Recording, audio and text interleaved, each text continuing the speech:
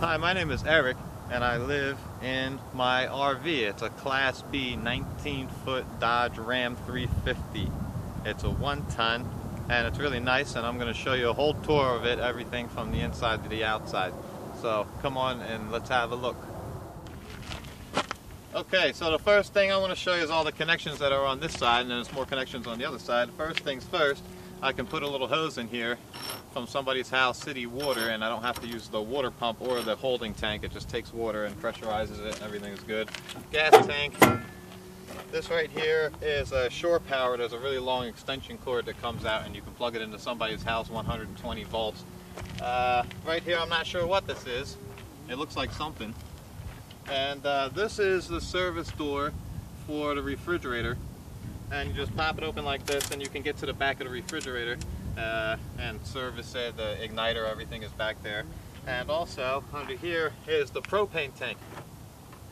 And it's got a little meter on it to tell you how much uh, propane you have left, the knob and there's little connections and everything so you'll be able to service this as well. And that about does it for this side. Alright, so we're on the other side of the van and it's got a couple more connections. The first connection is 120 volt power lines on the outside. You can just plug right in over here in case you're out here camping.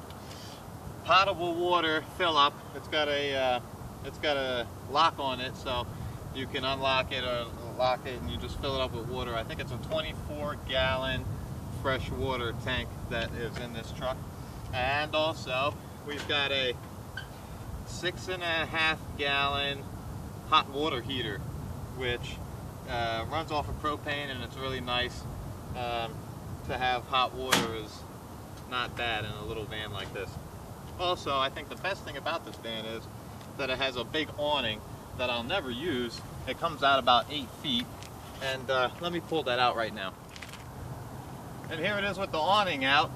Um, all you do is you take this little thing out of here and you crank it and it pulls the awning in and out and then there's uh, these little feet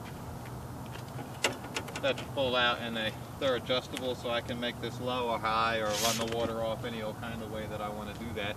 And uh, it's a really cool feature of this van uh, some of them don't have it but this one does and uh, it's okay. Not really for my purpose but for a lot of people who do a lot of camping this would be really nice now I suppose that the most important thing about a camper van is the inside. So let's go in here and have a look see. It's got these double doors. These windows open. Every window in this van opens. My last van only a couple of the windows open, but this one every single window opens. Uh, so let's go inside and check it out. So now we're inside and this is where all the driving happens.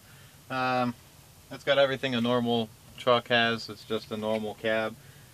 A radio, heater, air conditioner, all that stuff, little dome lights. Um, other than that, not too, nothing too special. Uh, this truck runs really, really well. Uh, the guy that I bought it off of sold it to me in 98,000 miles. There's only 80 hours on the generator, uh, so I, I, suppose that it was used for a lot of trips and a lot of camping over the years. Um, so that's that. Let's get to the other part. Okay, here we are inside, and um, I'm six foot three, and I can just about stand up in here. Um, I think that this ceiling right here is about six feet tall, and uh, it's okay with me. I don't mind. Now, right here we have, I guess it's a control panel. You can start and stop your generator through this. Uh, you can test to see your water levels and your battery condition. Here's for the water pump when you want to uh, use uh, running water or the toilet. A hood light for the range and a hood fan for the range. And uh, that fan is obnoxiously loud. Um, I think I'm going to get in there and do something about that. Um, here we got a microwave the microwave runs on shore power, which is when you plug in the extension cord to a normal household power outlet, and it runs off the generator when the generator is on. And now I've modified it to where it can run off my solar panels and my battery, and um, I'm going to make a video all the different um, modifications that I make to this van. But So I'm not going to go through that today, but I am just going to go through the things that this van already has. Let's go a little bit further back and see what else. Alright, so this is just the side, just above the range. We've got a uh, propane range here, and uh, it works really good. We've got a sink, works really good. Little tiny thing for toothbrushes, little towels and stuff. Here is that control panel I was telling you about. You push the button, it tells you where all your stuff is at. This is battery level, fresh water, black water, gray water. Now, um, I know that these black water sensors, they get messed up a lot because there's a lot of stuff going on in there. And this one is definitely messed up because this thing is absolutely empty right now. And I'm going to find a way to fix that up. Once I fix that up, I'm going to make a video how I did it. Up here we got storage for, I guess, canned goods and um, bread and little stuff that you got. Next to that is the microwave. And as we go lower, here's a refrigerator. Now this refrigerator is the coolest refrigerator I've seen in a long time because it runs off of shore power AC. It run off of propane or it'll run off of 12 volts DC. Um, and I leave it off right now because it's winter time and somehow that door in the other side is not quite um, insulated enough so this refrigerator stays really cool and it's a big refrigerator. It's got quite a bit of space in it and that's a little non-frosting freezer up there which has a quite a bit of space. It's bigger than my other refrigerator for sure. And it just locks up so it don't swing open. And now we've got storage this place has tons and tons of storage.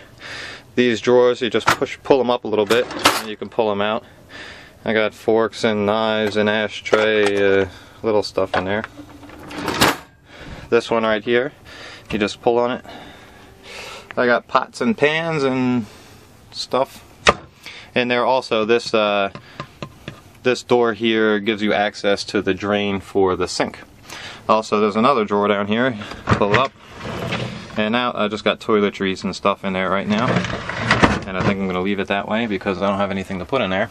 Now, we have a furnace and it runs on a thermostat. I'm going to show you the thermostat in a second. Another drawer.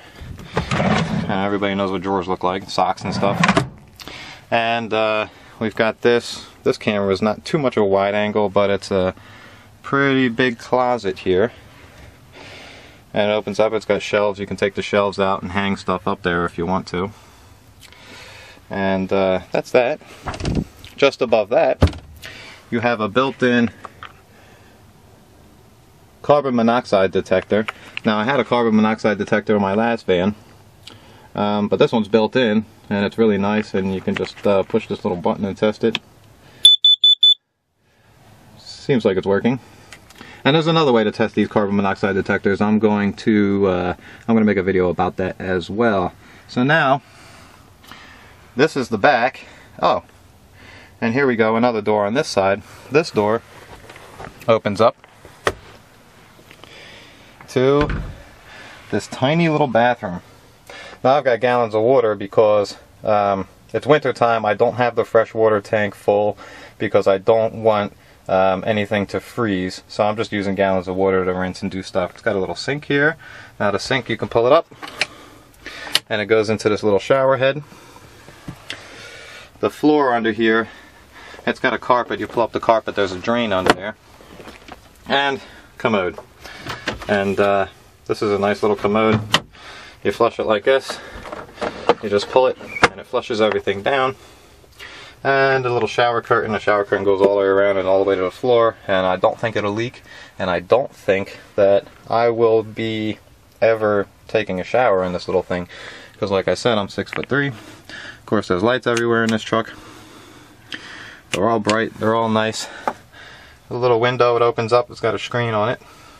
Folds out. So that's enough of the bathroom. Now my favorite part the part where I spend the most time I'm sure is right back here now, these vans all have different configurations of how these seats can go and how the table can go and all this. And this one is the coolest one that I've seen because you can make this anything really that you want to make it. Um, it, it. It was a bench here. That right there was empty, it was open. And then it had this dinette, and the dinette folds down.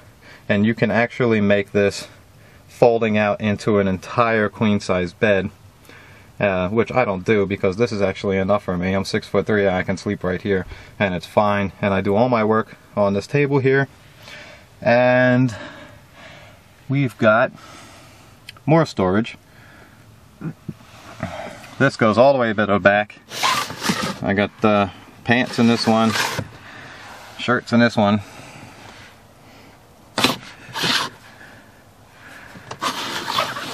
They don't rattle when you're driving, they're quite fine. Now also, up here we've got a nifty fan, three speeds, on a thermostat. So you can turn this colder and hotter so you want a certain temperature in the morning and once it gets above that temperature it'll turn this fan on to whatever setting you've got this on already. And it works really nice, it's very very quiet. And uh, I took it all apart and cleaned it because you know how fans get. Now, we've got an air conditioner here. It sticks out the top of the roof. It's also on its own thermostat. It's got a fan setting, high, low, all that, just like a regular air conditioner. Now, this one's on shore power, and it runs on the generator. Now, like I said, I've wired this to run on my solar panels and my battery, although I'm sure that a air conditioner um, is going to take far too much power for that. So um, I don't see myself ever using it. I don't live in Texas, so I'll be fine.